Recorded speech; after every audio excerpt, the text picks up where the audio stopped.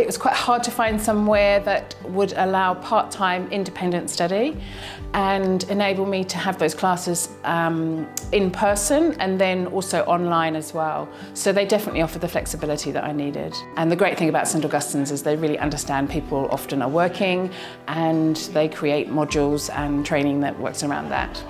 I think the flexibility with St Augustine's is really good. I think there's, you know, if you can't be here for a whole day on a Friday, then you, you, you know, there's an opportunity for you to study on a Monday evening or on a Wednesday by Zoom.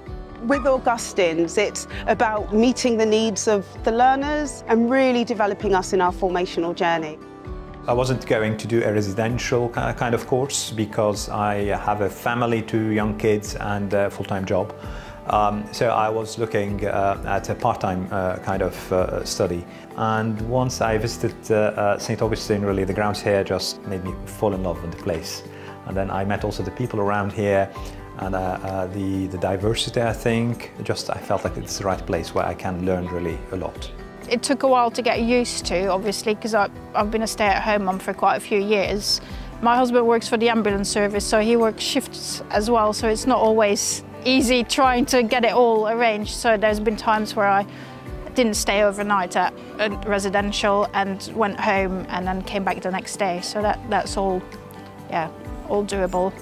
The staff and the tutors and especially the admin staff are amazing at just being able to make you feel a little bit better about all the stresses that are going on in your life.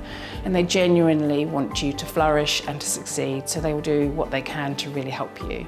And that makes a huge difference when you're juggling lots of things you're studying alongside people who, like you, are trying to balance um, work and study life and uh, trying to make that work. And, uh, and, and so you're, you're in the same boat together.